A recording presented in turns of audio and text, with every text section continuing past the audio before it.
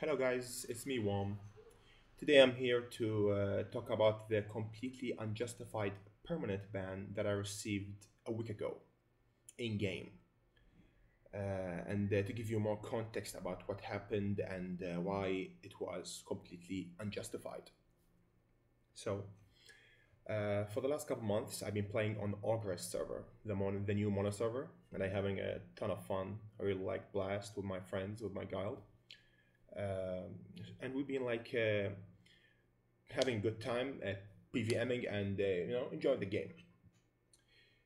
Uh, but uh, we had like a, couple like uh, interactions we can say with like uh, players in like in game because we really enjoy pack PvP, the demonic packs. You know the wild savage supposedly PvP system that Ankama implemented into Wakfu a couple years ago with the loot bonus that it uh, brings along with it and the chance of you losing your loot.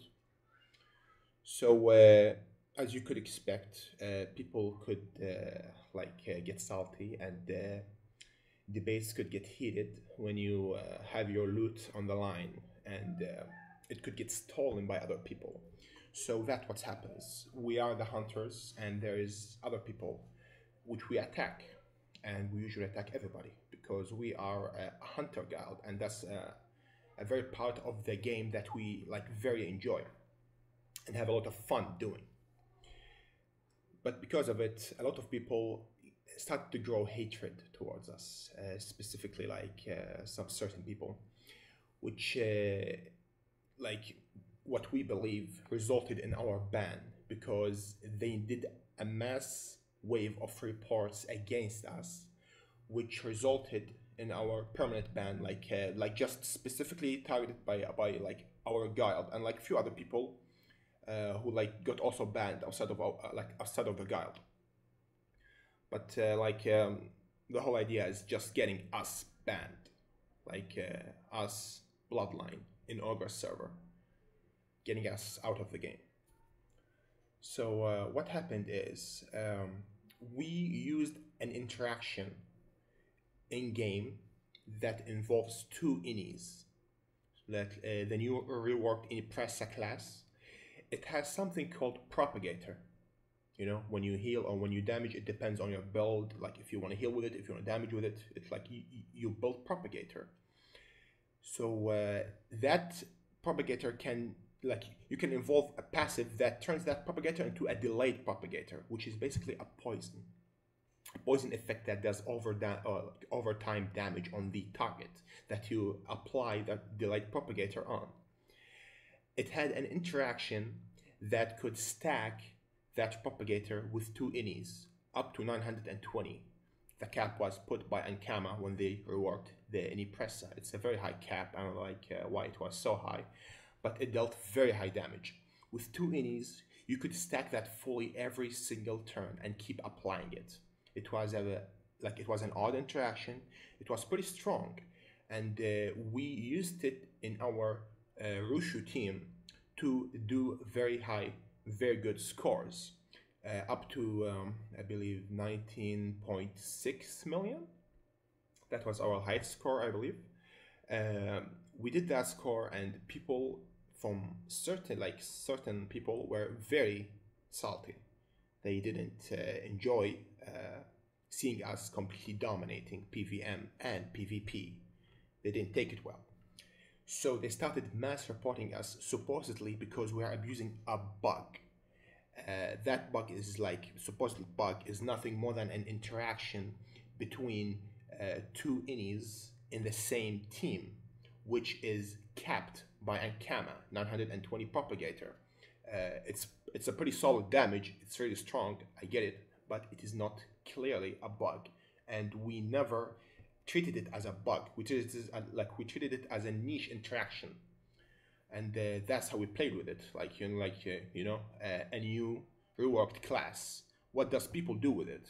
They try different things to find niche interactions, so they enjoy the excitement of trying to find these new strategies to use them in game like uh, what are people supposed to do like uh, they try the new class and they do new strategies and they implement it inside of their fights in PvP and PvM. Depends on what they prefer. So uh, this resulted in our ban, like a huge ban wave that wiped out half my guild, up to like uh, two, like 15 people or something, like uh, like even more. Like anybody who had two innies in their team and they used and they used propagator, they got wiped out. like two weeks, three days, some of them, they got banned. They got hit with a ban. Us, the number one Rushu team, we got hit by a, a permanent ban. We got wiped out completely. Me and five other friends who were completely like uh, playing right. We just uh, grouped up, did our run.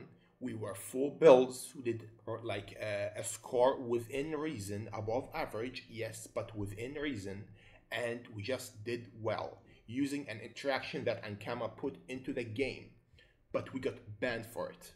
Our score, supposedly with bug abusing score, got beaten up by an, by the team who reported us supposedly, and they did better than us playing in the game normally, which really like makes you feel that ban is completely unjust. Because um, we like personally I like I believe we're a victim of uh, mass reports and just target reports.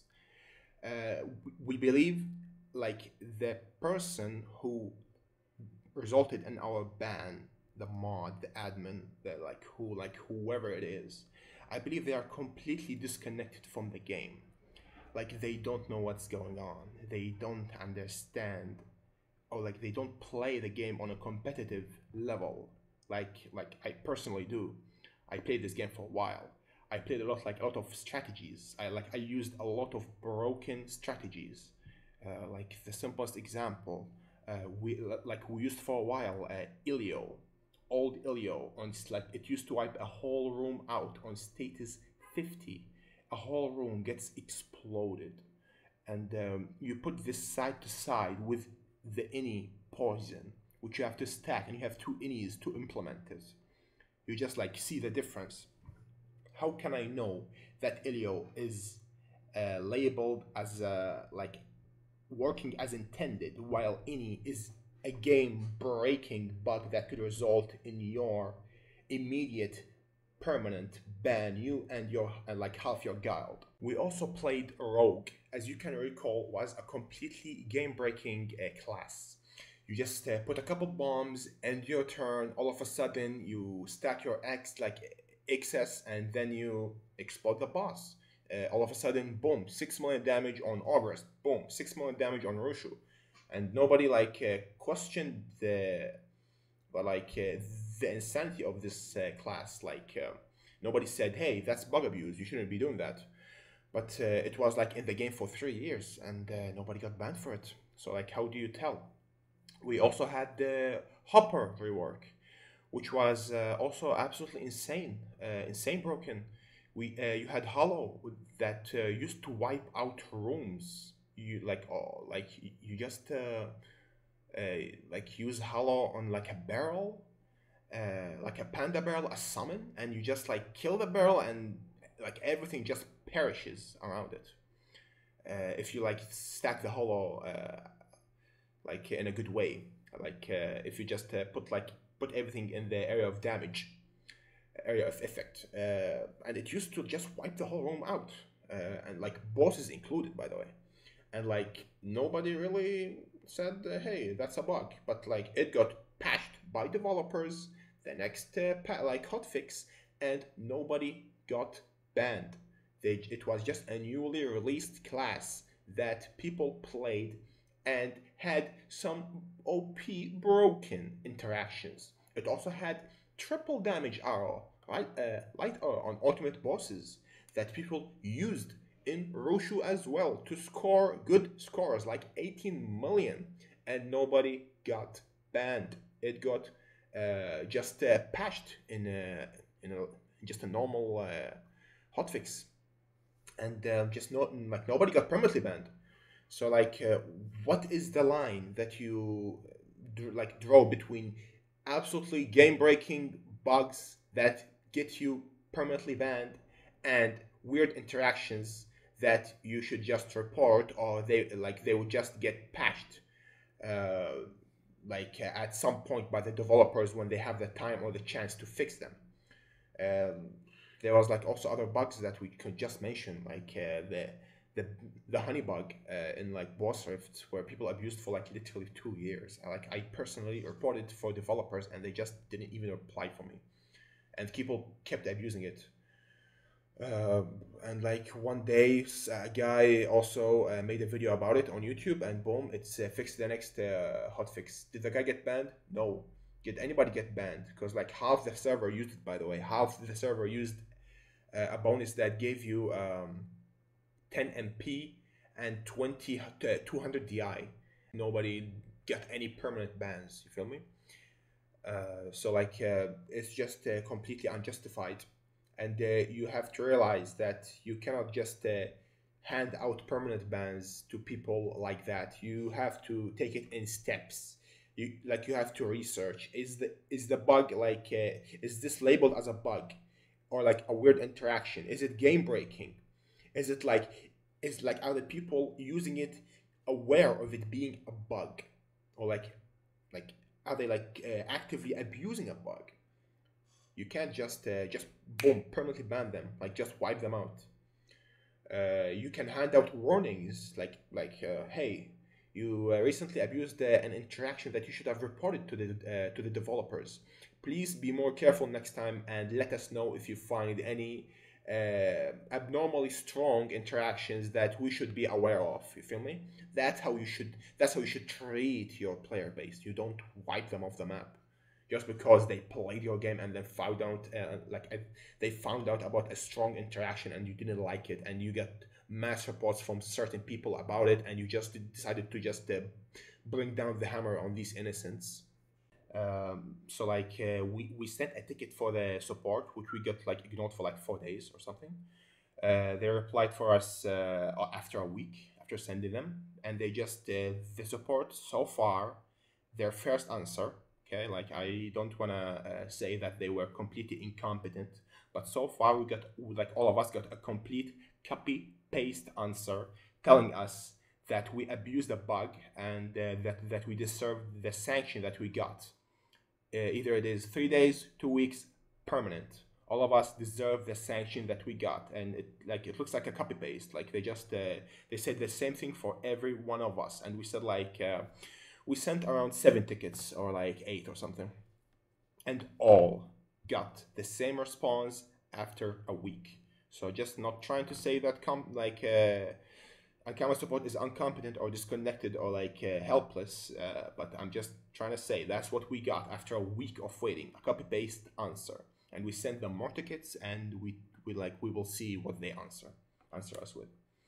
So uh, that's uh, th- like that's what's happened uh, basically uh, like before a week ago. And that's what we're like what we ended up with uh, where we got completely wiped out. And the people who like supposedly reported us like had a blast by the way they had a very fun time uh, mocking us and like like you know like having a good time they just like, like they just had had the night out basically uh, so yeah, it's uh, really unfortunate that it came like down to this. Uh, like um, I never imagined myself getting banned over playing the game. Like uh, feel me? Just uh, having a fun time with my friends in Ogrest server. Like for the for the first time, enjoying like my time with like other people. Feel me? Because I usually six box. so yeah, that's what happened, and I wanted to to explain it to give context to expose the un, like injustice when it comes to this ban and uh, this decision that was taken by Ankama recently to permanently ban uh, all of us, like the six people who took Frank one Rushu, and it wasn't even uh, like uh, an insane run or like an insane un- unbeatable score. It was nothing more than uh, above, like slightly above average. So yeah, thank you for listening and uh, I hope to see you again in game after we get unbanned. If if not, then I'll probably not uh, not be around for a while. Thank you guys, and have a good day. Peace.